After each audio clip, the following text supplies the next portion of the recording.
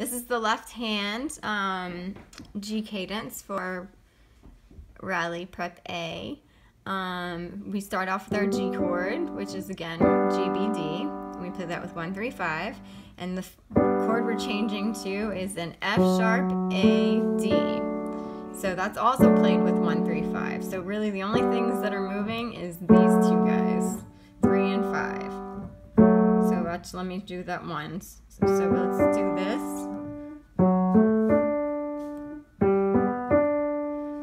to do it as a chord.